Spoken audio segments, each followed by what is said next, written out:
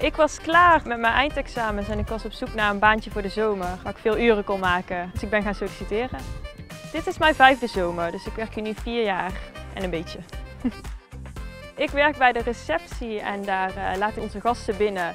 Dus ik scan pasjes, sluit abonnementen af, neem de telefoon op, beantwoord daar de vragen van de gasten. Zien we jullie straks. Fijne dag.